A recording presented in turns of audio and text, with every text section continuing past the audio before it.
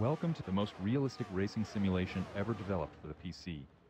If you've never played a Papyrus racing sim before, you may be in for a surprise the first time you get out on the track, because in real life, driving a 750 horsepower stock car at the limit isn't easy, and it's not easy to do in the game either. You can't expect to become a master at it overnight. First, you need a solid understanding of the basics, and that's where these driving lessons will help.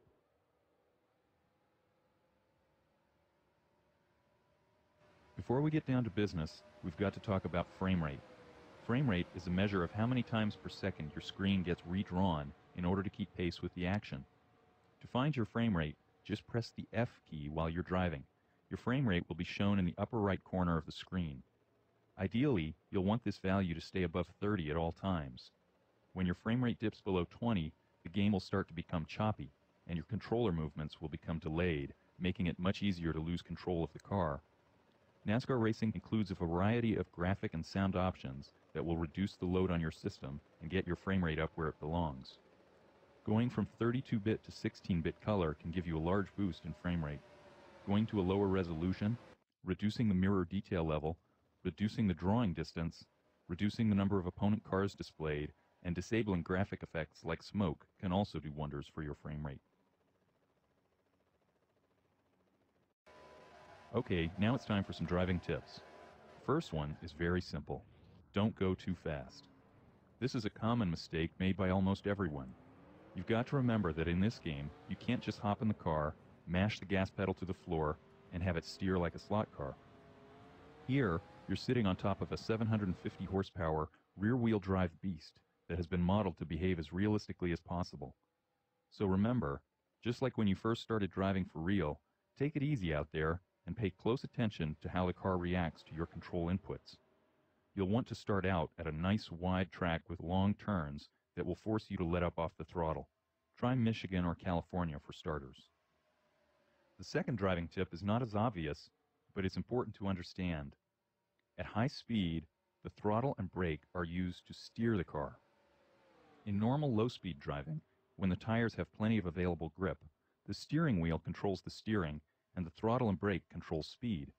But what happens when the speed increases to where the tires reach the limit of their grip?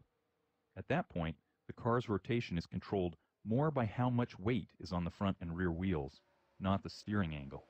Braking will cause weight to shift to the front of the car, making it want to turn more. Applying the throttle will cause weight to shift to the rear of the car, making it want to turn less. Here's an example. As the car goes through the corner, we'll keep the steering angle the same, but we'll let up on the throttle. Watch as the car pulls to the inside. This time, we keep the steering angle constant, but we'll add some throttle. This time, the car pushes to the outside. When the tires exceed their grip limit and lose traction, the opposite effects occur. Too much brake will cause the car to plow forward and refuse to turn, too much throttle will cause the rear of the car to snap around and spin. If you want to master car control, and you have to master car control if you want to win races, you'll need to properly anticipate these effects and compensate for them by using the steering wheel. For these reasons, it's important for you to be smooth with the steering, throttle, and brake. Just as you wouldn't violently jerk the steering wheel back and forth, don't jump on and off the throttle and brake suddenly. Instead, do what the pros call rolling into and out of the throttle and brake. Apply them gradually and come off them gradually, and you'll have fewer unscheduled meetings with the wall. Being smooth will also help you preserve your tires. That means fewer pit stops, and fewer pit stops will help you win races. Here's another tip that will not only help you out on the racetrack, but out on the street as well. As you're driving around the track, concentrate not on where you are, but on where you will be in the next four to five seconds. When you see the next corner in the distance, visualize steering into it, taking the correct line through it, and coming out of it. You'll be able to set up for the corner earlier, and any corrections you may need to make will be less drastic because you'll be making them earlier rather than at the last second. You'll also have more time to avoid any trouble that may be developing up ahead. Look for the shaded racing groove on the track. That will show you the quickest line through each corner. Visualization is definitely important, but don't rely solely on your eyes out there. Your ears are just as important when it comes to getting the most out of your car. Listen to your car as you go through the corners. Are the tires squealing like crazy?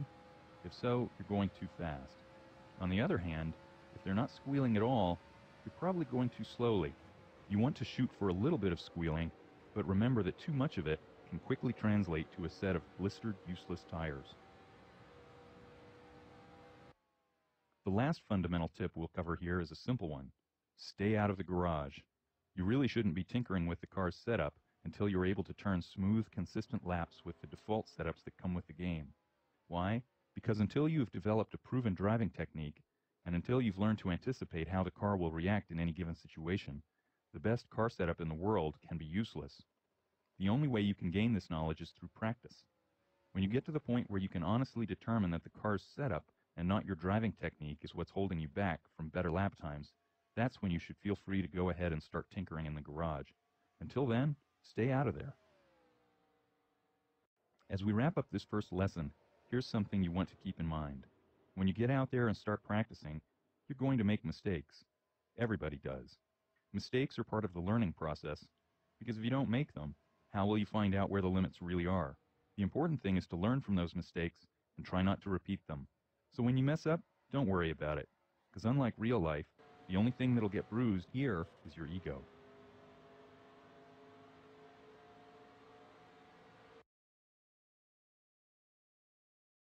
Other sports, auto racing has a language all its own, so it's really in your best interest to take some time to learn the lingo.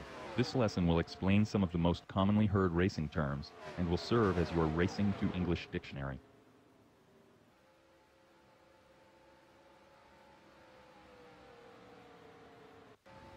Push happens when the rear end of the car has more grip than the front. When the car enters a corner, it doesn't want to turn, and instead it tries to drift up the track. If too much speed is carried into the corner, the front wheels will break traction first, causing the car to plow. A pushing condition is also called understeer. In general, your car will tend to push more and more as your fuel burns off and as the tires wear. A car that pushes is easy to control, but it's slow. The default setups that come with the game have a tendency to push in order to make them easier to drive. Sometimes you'll find that your car is pushing when you're closely following another car through a corner. This kind of push has nothing to do with the car's setup. It's all due to aerodynamics, and that's why it's called an aero push. Basically, when you're right on someone's tail, most of the air that would normally be pushing down on the front of your car is being blocked by the car in front.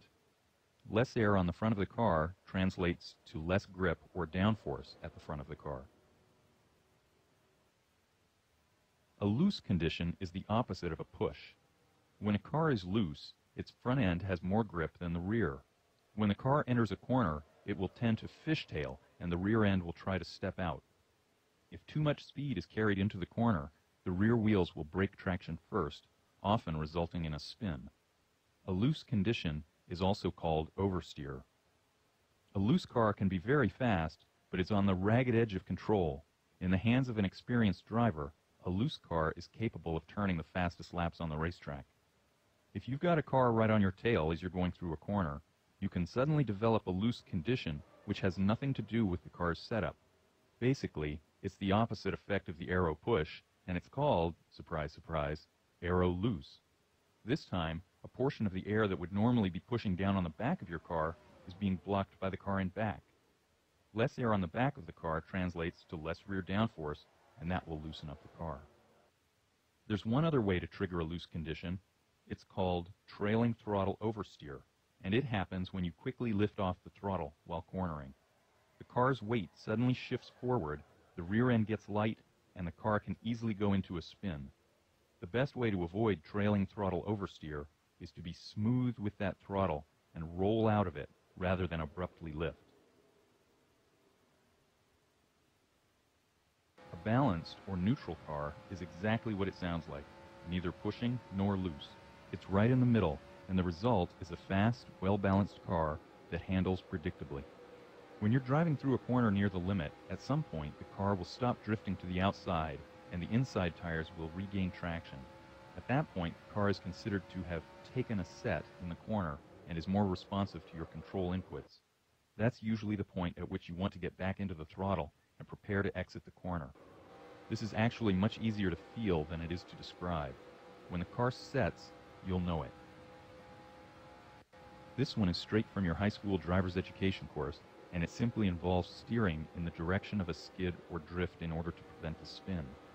In NASCAR, you need to be prepared to countersteer at all times, but particularly when you're getting on the throttle and exiting a corner, because that's when the car loves to snap around.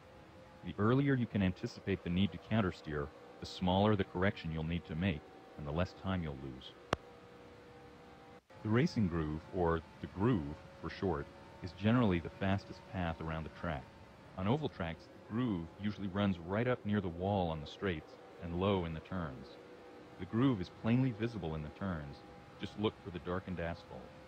If you're having trouble finding the groove, press the R key while you're driving, and it will be highlighted for you. The apex is the point on the inside of a turn where the car transitions from entering to exiting the turn. The apex is usually at the halfway point of the turn. On most ovals, the two turns at one end of the racetrack will have a single apex. Often, drivers will try to just clip the apex in order to make the turn as straight as possible and maintain a high speed.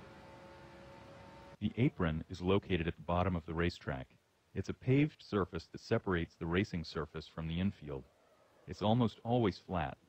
Be very careful when you transition from the racing surface to the apron, especially at tracks with a lot of banking. The blend line is a painted white or yellow line near the apron which starts at the pit exit. When leaving the pits, you need to stay below the line before you can merge safely with race traffic. When you hear your spotter say, Okay, merge when you can. You're clear to move back onto the racing surface at any time.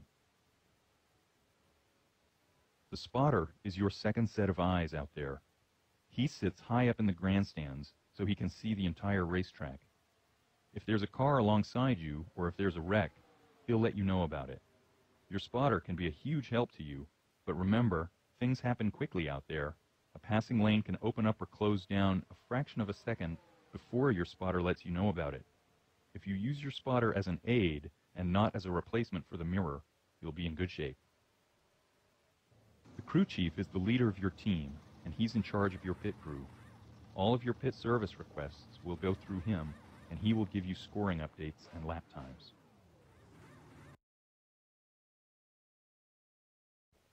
In NASCAR, flags are displayed by the starter and by the pit official. The starter is the official located in the elevated box at the start-finish line. The pit official is located at the beginning of pit road. Sometimes, if you're near the back of the pack, the starter can be tough to see. That's why there's a small flag indicator located in your speed gear display on the left side of the screen. When the starter swaps flags, the flag indicator will update. If you don't see the speed display and flag indicator, press the S key. Let's go through the flags and explain what each of them means. When the green flag is displayed by the starter, it signifies either the start of the race or the restart of the race after a caution period. All cars are expected to accelerate to the start-finish line and begin racing. When the green flag is displayed by the pit flagger, it means that pit road is open.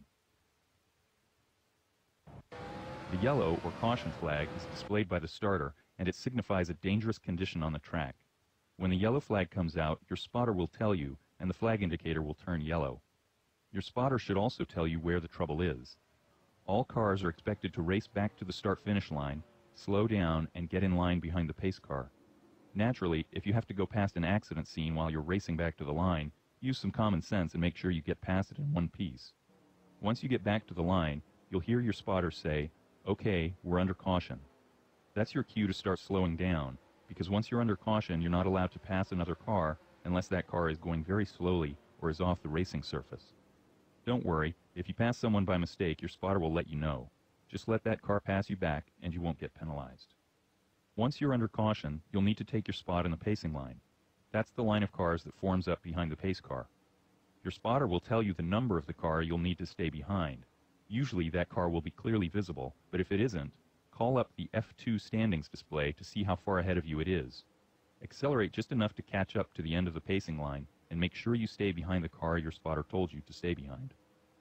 The yellow flag caution period can last anywhere from two to several laps, depending on the length of the track and the severity of the problem.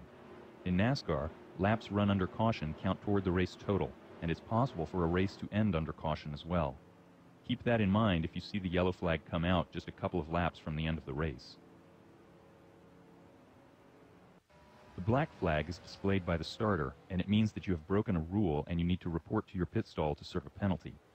Unlike the other flags in the game, the black flag is driver specific, so if you see it, it's meant for you. When the black flag comes out, your flag indicator will turn black, and your crew chief will tell you the reason you've been penalized. To serve a black flag penalty, you'll need to report to your pit stall under green flag conditions. At that point, a NASCAR official will count off the penalty time. Once it has expired, the black flag will be cleared, and you may continue racing. You'll have a total of four green flag laps to come in and serve your penalty. If you fail to do so, you'll be disqualified. If you get a black flag with fewer than four green flag laps remaining in the race, and the race ends before you report to the pits, you'll be given a post-race penalty instead. If you rack up multiple penalties, you can clear all of them during a single visit to the pits, but you may be there for a while, because for each penalty beyond the first one, you'll be socked with an additional 20-second premium. One last point about serving penalties. We've already mentioned that you have to serve them under green flag conditions, but there is one very rare exception to that rule. If you happen to be on pit road and en route to your pit stall when the yellow flag comes out, you'll still be able to serve your penalty, even though you'll technically be under yellow flag conditions when you get to your stall. The red flag is shown only by the pit flagger, and it means that pit road is closed.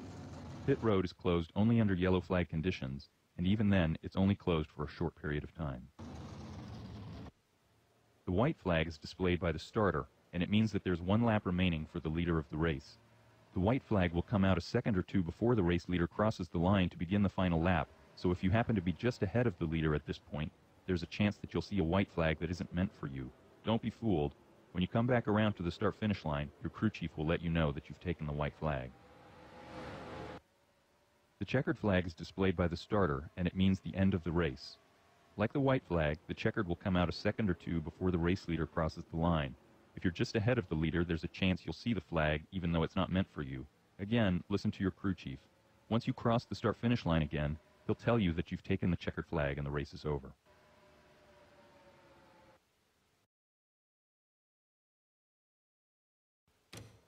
NASCAR Racing 2003 season includes most of the rules and procedures found in the NASCAR rulebook, and there are quite a few of them.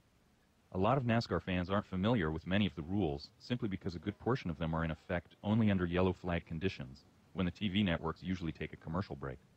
Strapped into the cockpit, the rules are very important. They provide a safe and fair environment in which to race.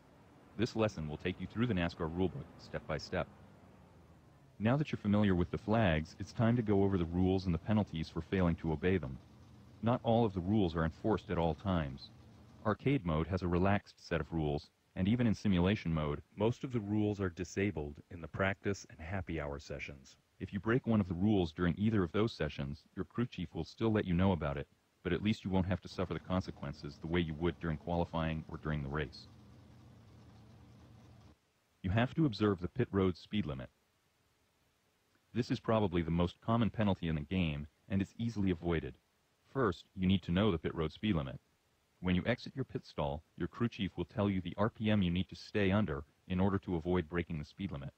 Remember that value is based on second gear, not first. Second, when you're exiting the pits, wait for your spotter to say, okay, you're clear of pit road, before you start to accelerate. Third, and most importantly, you need to practice those pit stops and make sure you give yourself enough time to get down to the speed limit when you exit the racing surface and come down onto pit road. The penalty for speeding in the pits changed during the 2002 season. Now, if you're under green flag conditions and speed in the pits, you'll be black flagged and forced to make what's called a drive-through penalty. To clear the black flag, you'll have to come all the way around the track and drive down pit road again, obeying the speed limit, of course. You can't receive service during the drive-through, and if you break the speed limit during the drive-through, you'll have to serve a stop and go penalty. If you speed in the pits under yellow flag conditions, you won't be black flagged, but you'll have to go to the end of the longer pacing line. When exiting the pits, you must merge at the proper time. When you exit the pits, you can't immediately pull back into race traffic. Instead, you must stay down on the track's apron, or as far from the racing surface as possible, and below the blend line until you hear your spotter say, OK, merge when you can. Each track has a different merge point, but for the most part, you'll have to wait until the back straight before being allowed to merge. There is a little bit of leeway built into this rule. If you attempt to merge early, you'll hear your spotter say, don't merge yet. You'll be given a split second to bring the car back to a legal position. Failure to do so will trigger the penalty. If you break this rule under green flag conditions, you'll be black flagged and you'll have to serve a stop and go penalty. Under yellow flag conditions, you won't be black flagged, but your penalty will be to go to the end of the longer pacing line.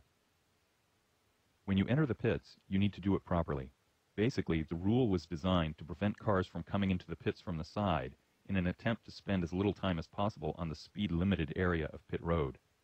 If you're not sure of the proper procedure for entering the pits, just start a practice session and watch one of the computer-controlled cars do it.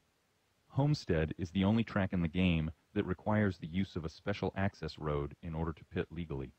If you break this rule, you'll be black flagged and you'll have to come in and serve a stop and go penalty. You can't enter the pits when they're closed. This one's simple enough. You have to wait until the pits are open and you're eligible to pit before you can make a pit stop. This rule applies under yellow flag conditions only. When the yellow comes out, the pits close. If you're near the pits when it happens, you'll see the pit flagger display a red flag. The pits remain closed until the pace car comes around and passes the pit entrance. At that point, cars that are on the lead lap may come in and pit. All other cars must wait until the following lap, at which point the pits will be open for all cars. If you're already on pit road when the yellow flag comes out, you won't be penalized for entering a closed pit. If you break this rule, you won't be black flagged, but you'll be sent to the end of the longer pacing line. You can't pass the stop-go man. This is another simple one, and it also applies only in races with yellow flags. The stop-go man is a NASCAR official positioned at the end of pit road. He is responsible for making sure that cars exiting the pits do not interfere with the line of cars pacing around the track. The majority of the time, he'll be displaying a go signal, which means that you're free to exit the pits normally. However, when the pacing line gets close to the pit exit, the stop-go man will display the stop signal. When this happens, cars exiting the pits cannot pass the stop-go man. They must wait until the pacing line passes the pit exit and the stop-go man switches to the go signal before being allowed to exit pit road. Breaking this rule will not result in a black flag, but you'll be sent to the end of the longer pacing line. You can't drive against the traffic. This is the ultimate no-no. If you drive against the traffic, either head-on or in reverse, you'll be disqualified from the race. There is a buffer built into this rule to account for those times when it may be necessary to briefly drive against traffic in order to get back onto the track after a nasty spin or similar off-road excursion. You can't pass under caution. After the yellow flag comes out and you have raced back to the start-finish line, you are considered to be under caution. Once you're under caution, you aren't allowed to pass, and that includes the pace car too. There are two exceptions to this rule. Cars that aren't on the racing surface may be passed, and cars that are on the racing surface but which are going too slowly also may be passed. If you're not sure whether or not you should pass someone, it's better to pass and be told to fall back rather than not pass and potentially cause a mess for all the cars behind you. Your spotter will make your life a lot easier here. Listen to him, and you won't go wrong. If you do pass someone under yellow, you'll have until the green flag flies to get back into the correct place in line. If you don't, you'll be black flagged The penalty time will be just long enough to offset any advantage you gain. You can't pass the leader before the start-finish line on a start or restart. If you are at the front of the pacing line, in the line opposite the leader, you aren't allowed to pass the leader until he crosses the start-finish line. This rule is designed to give the leader an advantage on starts and restarts. If the leader is going too slowly, or suddenly decides to brake before the start-finish line, this rule is ignored. This is done to prevent the leader from intentionally trying to get the car in the other row to beat him to the line by braking at the last moment. Breaking this rule triggers the black flag, and you'll have to come in and serve a stop-and-go penalty. You can't pass a car in the same pacing line on the inside before the start-finish line. Huh? Actually, this one is pretty simple. On a start or restart, if you want to pass a car that's in your pacing line, you can't do it on the inside until you get to the start-finish line. Passing on the outside is okay, but you'll find that experienced drivers will guard against this tactic. This rule is in place in order to prevent people from hanging back at the start and trying to time the green flag so that they can just zoom by everybody before they get to the first corner. Again, this rule is ignored if the car in front is going too slowly. Your spotter will let you know. Breaking this rule will result in a black flag stop and go penalty. You can't drive around with a heavily damaged car. NASCAR does not allow cars that are heavily damaged to continue driving around the track, so if you're damaged to the point that you're dropping debris or fluids on the racetrack, you can expect to see the black flag. In this case, your pit crew will have to repair your car to an acceptable state before you'll be allowed back onto the track. Sometimes you may be damaged to the point that it won't be possible for the crew to repair your car. In this case, you'll have no alternative but to retire from the race. This type of black flag penalty is the only one which may be cleared under yellow or green flag conditions. After all, NASCAR doesn't want cars dropping debris all over the racetrack for an entire caution period. When you race with yellow flags turned on, you'll need to decide whether or not you'd like to use single file or double file restart rules. In a double file restart, any cars that are one or more laps down are allowed to form a second pacing line on the inside of the lead lap cars. Not surprisingly, a single file restart keeps all the cars in a single pacing line. Whether it's due to an accident, a bad pit stop, or a poorly timed caution flag, it's easy to lose a lap during a NASCAR race. Getting back onto the lead lap is much easier if you can take the restart from near the front of the field rather than from behind a long line of lead lap cars. That's precisely why NASCAR introduced double file restarts. It gives cars a better chance of getting back onto the lead lap. NASCAR uses double file restarts almost all of the time. There are only two exceptions. First, they aren't used if there are fewer than 10 laps remaining in the race, and second, they are never used at the road courses. So how does a double file restart work? Well, it works the same way a single file restart does, right up until the point when the one lap to green signal is given. That's when the lights on the pace car will go out and you'll hear your crew chief say, we're going green next time by. At that point, you can pull to the inside and line up on the inside of the lead lap cars. If you're in the wrong place, your spotter will let you know. Be sure to use that F2 box to know which cars are close by, so that if your spotter tells you to pass or stay behind a particular car, you'll know where that car is. So those are the rules that you'll have to pay attention to when out on the track. As you can see, there's quite a bit to go over during the driver's meeting. But don't worry, if you can't remember all these rules, just listen to your spotter, and he'll keep you out of trouble.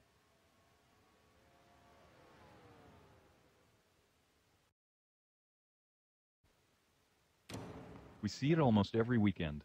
Some driver's got a great car and he's been running near the front all day long. The laps are winding down and he comes into the pits for one last stop. Then something goes wrong. He overshoots his pit stall, or he parks too close to the pit wall, or he breaks the pit road speed limit. Suddenly, his hopes for a win are gone. Not because he wasn't fast enough, but because of a bad pit stop. Good pit stops don't just happen. They require concentration, precision, and above all else, practice. Every second you spend in the pits translates to hundreds of feet out on the racetrack. A pit stop involves a lot more than the 15 seconds or so that it takes your crew to add fuel and change tires. This lesson will break the pitting process down into several steps, and it will give you tips for getting through each of those steps as quickly as possible. Before we go through those steps, there are a couple of things you need to know like where your pit stall is. Yeah, it doesn't get much more basic than that, but remember, chances are good that the stall you used in practice won't be the one you'll be using in the race. Why?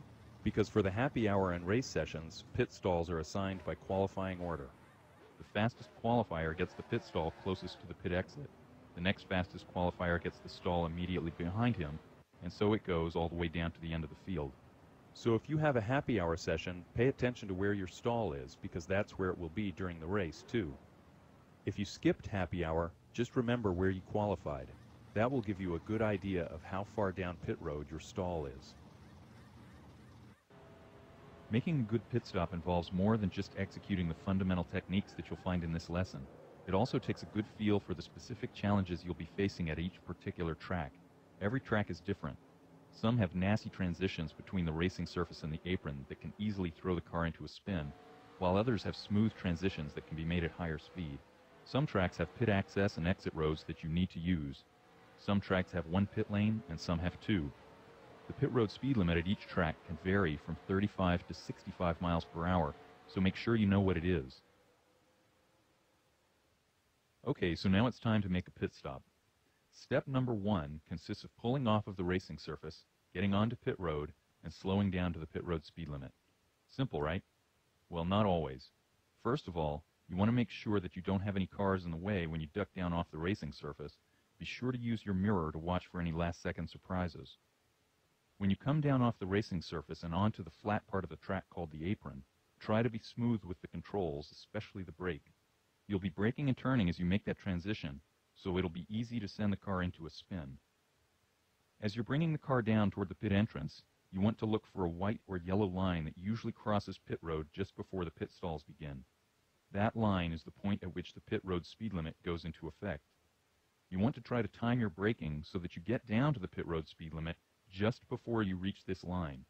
This part of the pit stop is the riskiest one, no doubt about it, but it can also be the most rewarding one too, because if you time everything just right, you can save a lot of time Step number two involves traveling down pit road to your pit stall. This can be tricky, especially if a bunch of cars are all pitting at the same time, as is often the case after a caution flag. Each pit road has two lanes. You'll want to stay in the outermost lane until you get just a few stalls away from your pit stall.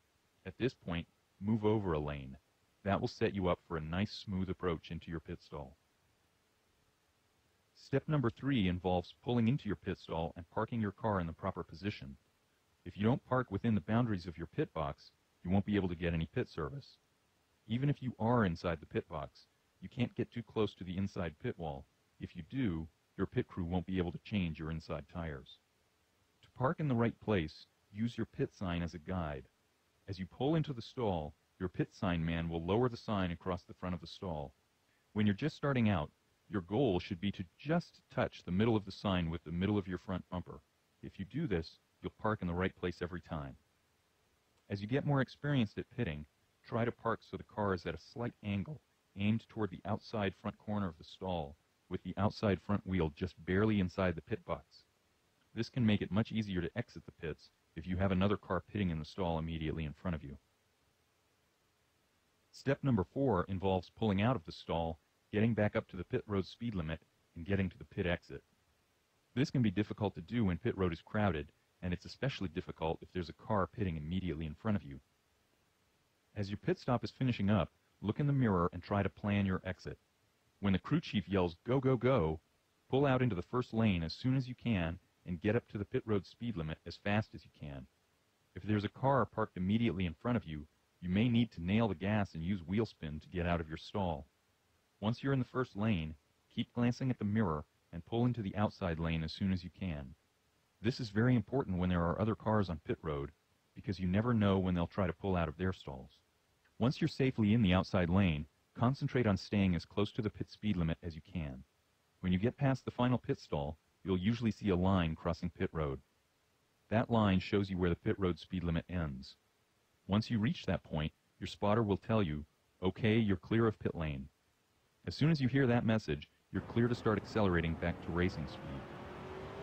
There's one more thing you need to keep in mind before we move to the next step.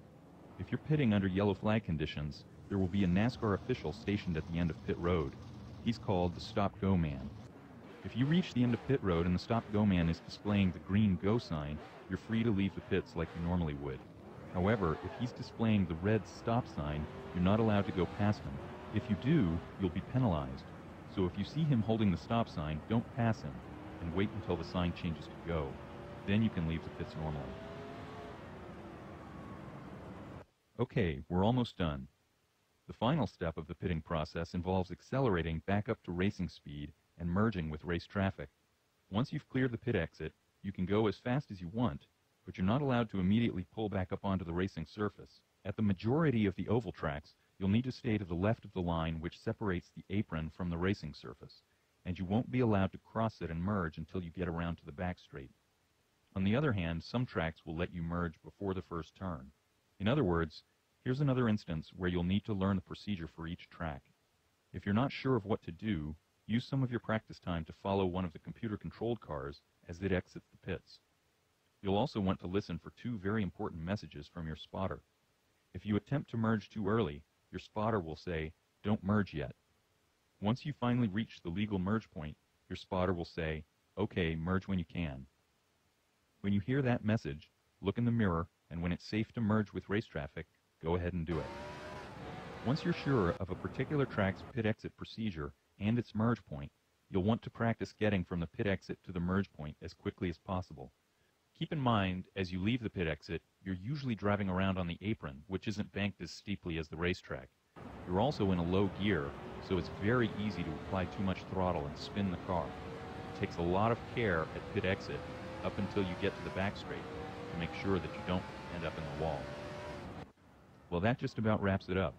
Practicing your pit stops may not be the most exciting thing in the world, but hopefully you now understand just how important it is.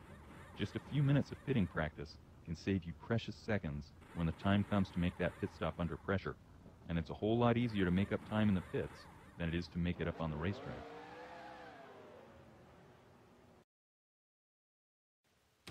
Drafting, or slipstreaming, is a technique in which two or more cars race nose to tail as closely as possible. The lead car breaks the air in front and creates a vacuum between its rear end and the second car's nose. This vacuum pulls the second car toward the back of the first. As the second car gets closer to the back of the first, the aerodynamic drag on the lead car is reduced. The net effect is that both cars become faster than they would be if they were racing by themselves. How much faster? Well, at the restrictor plate tracks, where the drafting effect is magnified due to the less powerful engines being used, two experienced drivers drafting together can make up about two seconds per lap on an experienced driver who is running by himself. By being patient and staying in line, a group of two or more cars can run down a single car very quickly. Conversely, two cars running side by side will create drag and slow both of them down. Use this knowledge to your advantage. If you're part of a draft train and you see a couple of cars up ahead battling and racing side by side, stay in line and just watch how quickly you reel them in. There are two downsides to the draft. First, unless you're leading the draft train, you'll be blocking the flow of air to your radiator, so keep an eye on that water temperature gauge. If it really starts to skyrocket, you'll need to get some fresh air into the radiator to cool things down. If you're really good, you can do this without giving up your spot in line. Pull out from behind that car in front of you just enough to cool the engine, but not enough to let the car behind you take your spot in line.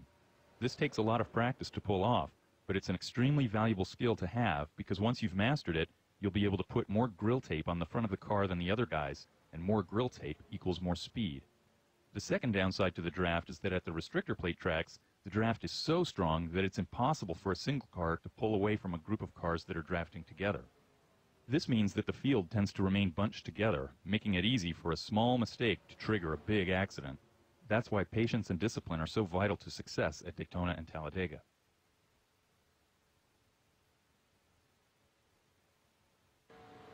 To master the draft, you'll need to know exactly where the front end of your car is, because once you get up to the back of that other car, at some point you'll need to back off in order to avoid bumping into him. This is critical when you're turning, because any contact at that point is likely to send one or both of you careening up the track and into the wall. For this reason, you'll find that while inexperienced drivers can draft to the point of bumping on a straight, they will back off a lot in the turns. To minimize your lap times, you'll need to figure out just when and where to back off the throttle so that you can stay right on that other car's tail all the way around the racetrack, even in the turns. Drafting is all about momentum. When you're really hooked up with another car or group of cars, you can build up a ton of momentum. To get to the front of the field, you'll need to learn how to recognize who's got that momentum and who doesn't, and try to put yourself in a position so that you're always a part of the group with the most momentum. If you want to pass that car in front of you, you'll need to pull out from behind him and hope that the cars behind you decide to stay with you. If they do, chances are you'll be able to zoom right by. If they don't, you could find yourself all alone with no drafting help, and you'll often have no choice but to watch the draft train zoom right by you.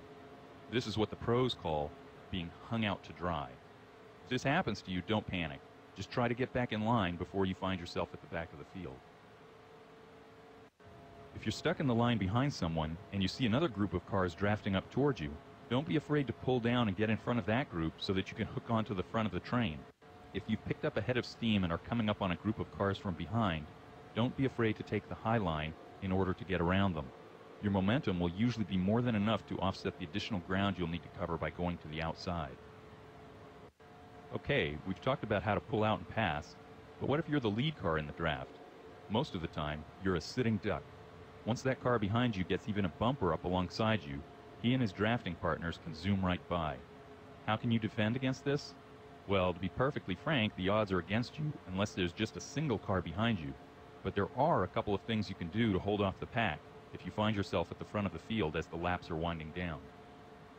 First, you can take a low line around the track. If they're going to draft past you, make them work for it and do it on the high side. They'll need to travel a greater distance in order to get by, and there's a chance that once the car immediately behind you goes to the high side, one or more of his pursuers will pull down into your lane and sell him out. Second, you can try to do what the pros call breaking the draft. On the straights, move back and forth across the track in order to reduce the aerodynamic advantage you are giving your pursuers. Of course, you need to be careful that you don't lose too much speed by doing this, but you'll find that sometimes, in an attempt to match your moves, the draft train will break up and lose its momentum. Lastly, use that mirror and do some basic defensive driving. At the restrictor plate tracks in particular, it's very common for pass attempts to be initiated at the start of the straights. Anticipate this, and as you come off the corners, be prepared to move to the low side to block. Again, you're looking to break the momentum of your pursuers, and by making a move that causes them to lift off the throttle for even a split second, you'll be doing exactly that.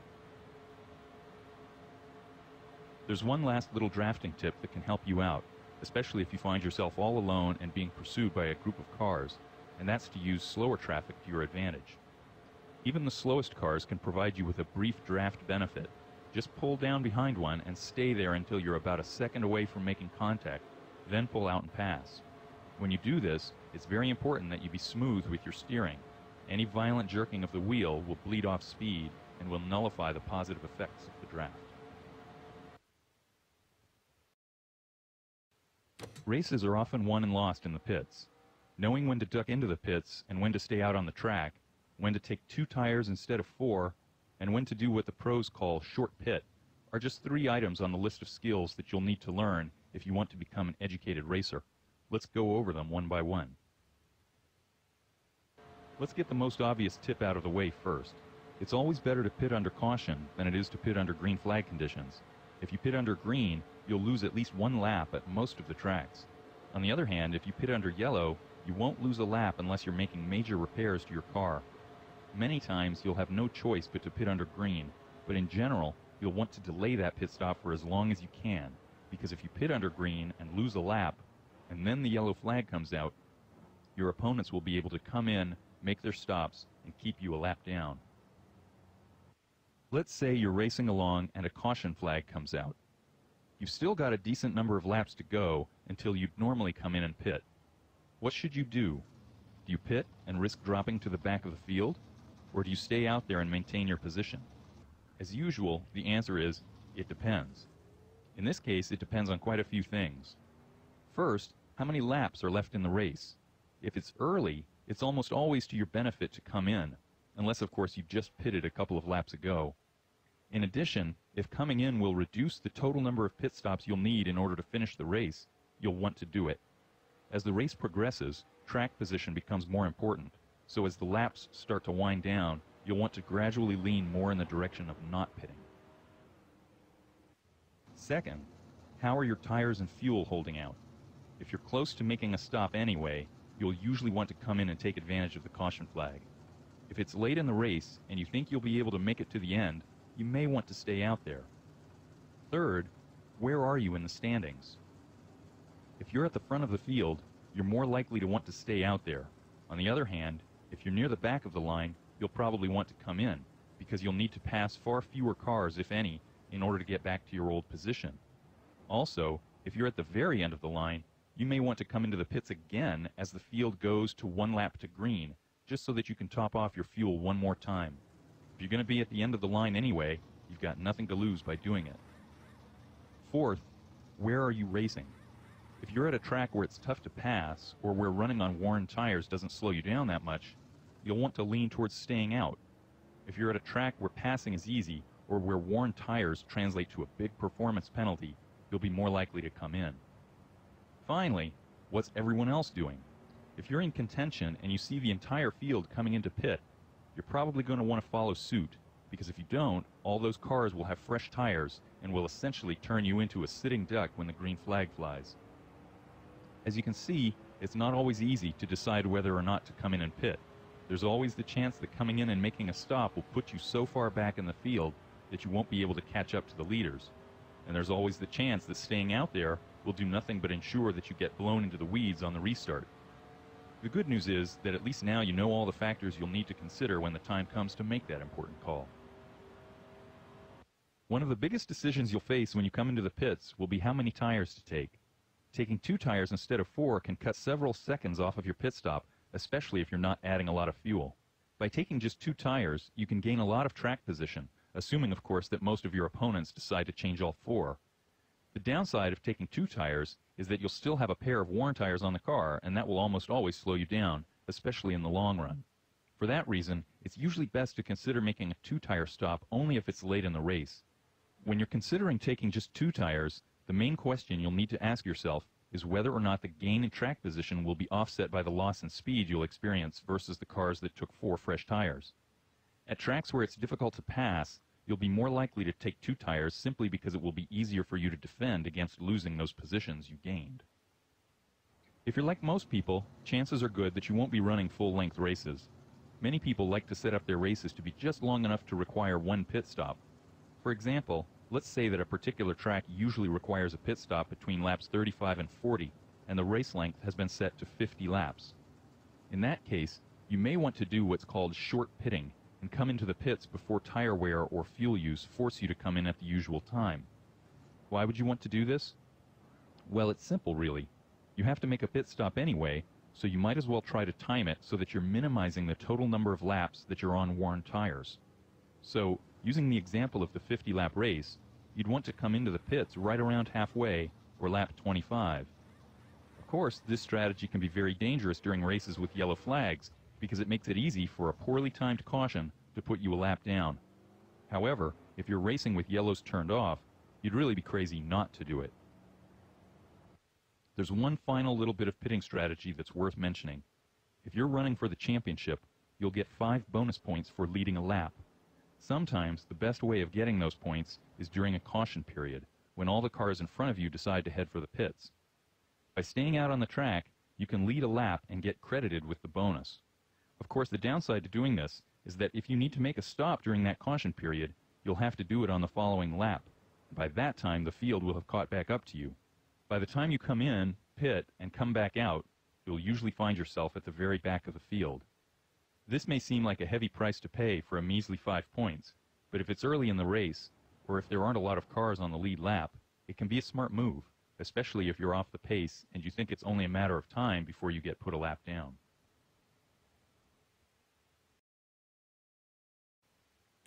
Racing is an activity that is part man, part machine. Great controversy rages over just how much man versus how much machine it takes to win. One thing is certain a great car is useless unless driven by a good driver, and at the top levels of racing, a great driver has no chance without a good car.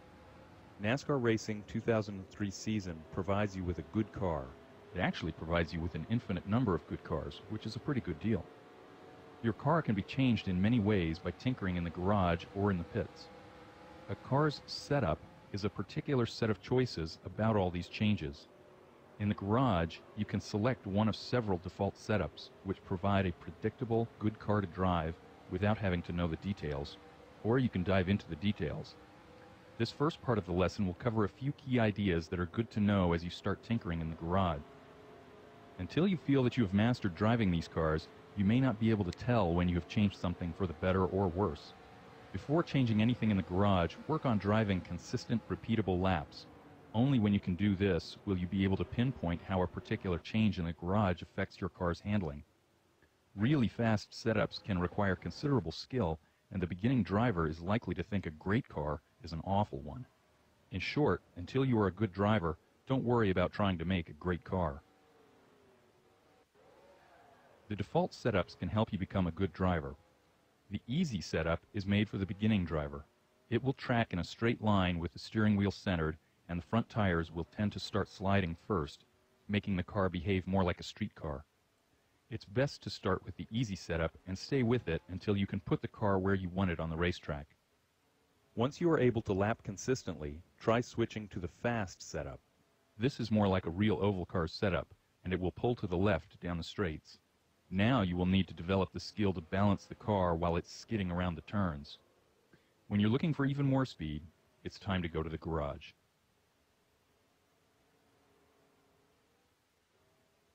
As you can see, there are a lot of changes you can make in the garage. Clicking the right mouse button over any of the items will show you a short explanation of that item's effects on the car. The settings generally involve three things. Trying to stick the tires to the road better, finding a balance between grip and top speed, and finding a balance between speed and reliability. Most of the settings in the garage are for fiddling with how well the tires stick to the road. The more grip the tires have, the faster you can go in the corners, and the fastest driver in the corners usually has the highest average speed for a whole lap. There are many things that affect a tire's grip with the road, but the three most important are how much rubber is in contact with the road, how sticky that rubber is, and how much weight that tire is carrying. How much rubber is in contact with the road is affected by the tire pressures. A lower pressure makes a bigger patch of rubber. And camber, which is how much the tire is leaning over. The best grip is usually found with the tire leaning slightly into the turn. Unfortunately, when the car is moving, the camber is changing all the time. For example, when the car body rolls in a corner. And the tire pressure changes as the tire heats up. Fortunately, the tire temperatures from your last run are shown in the garage so you can figure out if the pressures and cambers are okay. After a few laps, the tire temperatures will settle down to values which tend to remain the same from lap to lap. This may take 5 to 7 laps. The temperatures are shown for each tire at the inside edge, I, middle, M, and outside edge, O. What you want to see on an oval is a slightly higher temperature on the left edge, the inside on right-hand tires, outside on the left tires, and a middle temperature that is about the average of the inside and outside temperatures. On a road course, you like to see slightly higher temperatures on the inside edges. If that's what you're seeing, then the cambers and pressures are close to their optimal setting for grip. If either edge is too hot, there is probably too much camber on that tire. It is leaning over too much in the corners. Negative camber will heat up the inside edge more, positive camber will heat up the outside edge. If the middle temperature is too hot, you may be running too much pressure. The temperatures can also tell you how sticky the tire is. They stick best at an average temperature of 190 to 240 degrees. If a certain tire is too hot, increasing the pressure can help cool it off. Conversely, lowering the pressure in a tire that's too cool can help heat it up. The other way to change the temperature of a tire is to put more or less weight on it. That is where a lot of the other settings come in. When your car is sitting still in the garage, each corner is weighed, and the results can be seen by clicking the Weight Bias tab. Ballast blocks can be moved around in the car to change how much weight is on the left side or on the front. You can also put more or less weight on the diagonally opposite wheels. This is called wedge. The settings under the Weight Bias tab allow you to change what are called the static corner weights. This is how much each corner weighs sitting still or static in the garage. As soon as you start driving around the racetrack, however, the corner weights change constantly. Accelerating puts more weight on the rear tires. Braking puts more weight on the front tires. Cornering puts more weight on the outside tires, the right side on an oval. The primary suspension settings, springs, shocks, and sway bars, all affect how much weight shifts to each particular corner while maneuvering around the track. What's important to understand is that we want each one of the four tires doing as much work as it can. We don't want any freeloading tires. Anytime one tire has more weight on it than another tire, it is probably working harder, and both those tires together won't have as much grip as they would if both worked equally hard. Balancing the work done by the four tires will consume most of your effort in the garage. The tire temperatures can help again with this. If two tires are working equally hard, they will likely end up at a similar average temperature. So ideally, we'd like all four tires to be at the same temperature, but this won't happen in reality. There is no way within the regulations to get the left side tires to work as hard as the right side tires on an oval. But the closer you can get to that goal, the faster you are likely to be. What makes tuning a car's handling complicated is that every change can affect everything else. It's a bit like trying to solve a Rubik's Cube. Fortunately, there are many combinations of settings that give a really fast and well-handling race car, and you get to tailor that handling just the way you like it. No two people seem to like the same setup, and that's what makes it interesting. Once you're lapping consistently and have decided to poke your head into the garage, don't be afraid to play around. After all, you can always revert to the default setups if you really mess things up. And remember that you have an infinite supply of cars to test. The weather can have a significant effect on your car. A car setup that works just fine at 70 degrees with no wind may turn into a real handful once the mercury rises and the wind starts to blow. Let's go over the weather variables in the game one at a time. The track temperature is higher on a sunny day than it is on a cloudy day. A higher track temperature means that your tires will heat up more quickly, but it also means that they'll run hotter all the way through the run, and that will increase their wear rate. As its temperature rises, air becomes less dense. That means that your engine won't put out as much power. Change your gearing to compensate. Higher air temperatures also mean higher oil and water temperatures, which may force you to remove tape from the grill in order to prevent overheating. Finally, higher air temperature means a higher track temperature, and that translates to accelerated tire wear. The wind can wreak havoc with your car's handling. A headwind will slow you down and cause your car to push. A tailwind will speed you up and make you loose. And a crosswind will simply push you across the racetrack. The stronger the wind, the more magnified these effects become. If a tailwind is pushing you to the point of causing the engine to over-rev, you can change your gearing or remove some grill tape to compensate. To compensate for a crosswind, you'll just need to adapt your driving style to deal with it. Qualifying is an important part of NASCAR racing, especially if you're running in a short race. In qualifying, your only concern is getting one or two hot laps out of your car, and that's it. With that in mind, here are a couple of quick tips that will help you get the most out of your qualifying setup. First, tape that grill up as much as you can. Remember, your engine only has to last for a couple of laps. Second, use higher tire pressures. Over the course of just a couple of laps, you're not going to get a lot of heat into those tires, so they won't reach the optimal pressure unless you start them higher than usual. And that wraps up our final lesson. Now you'll want to move on to the next step of your racing education, and that involves finding out what makes each track tick. If you want to compete for the NASCAR Championship, you're going to have to know every one of them by heart. It's time to take off the training wheels. Good luck.